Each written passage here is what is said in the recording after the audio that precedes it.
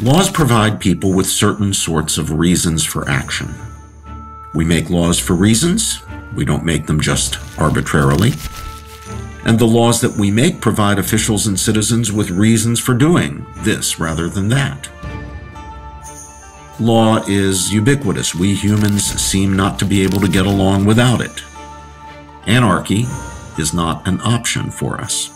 The consequences of anarchy are too dreadful, too unthinkable. So we opt for law. In part, we govern ourselves, we govern our affairs by law, and that raises all sorts of questions, and they are properly philosophical questions. Those questions have been asked from the earliest days of philosophy.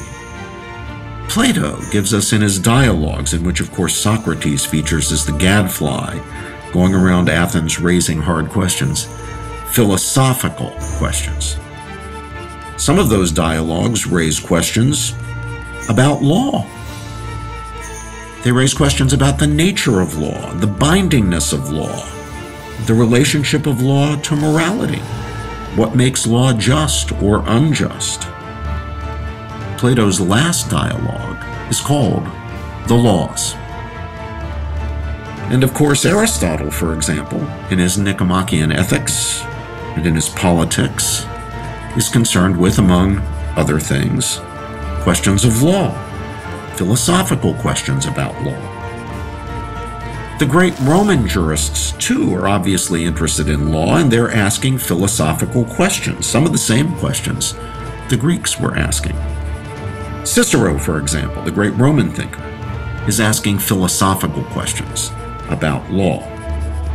If we move forward to the Christian period, we see St. Augustine exploring, among many, many other things, questions of law. And of course, preeminently in the late Middle Ages, the High Middle Ages, you have St. Thomas Aquinas, very, very focused on questions of the nature of law. How is law made? How should it be made? What is the relationship of law to other normative systems, to other concerns? What makes a law just or unjust? What do we do? What should we do in the face of unjust law? Are we entitled simply to break unjust laws? Do unjust laws have no bindingness for us? Do they not bind in conscience ever? Or do they bind sometimes but not at other times? is what we could call conscientious objection legitimate? Under what circumstances is it legitimate? How about civil disobedience? Is it legitimate under some circumstances? So law raises all sorts of questions. And look at the great religious traditions, traditions in which law figures centrally in many cases. For example, the Jewish tradition much of the great body of debate that is produced by the Jewish tradition is about law, about how law applies, where it applies, are there exceptions, under what circumstances are there exceptions.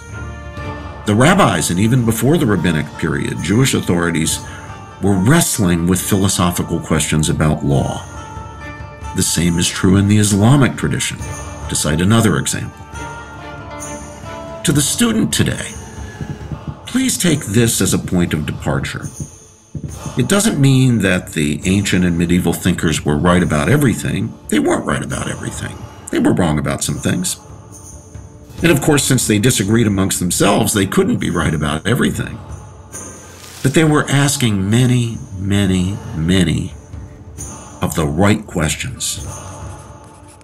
And that's 99% of the battle, getting the questions right. We won't reach the right answers if we don't ask the right questions. And those are questions that illuminate the landscape.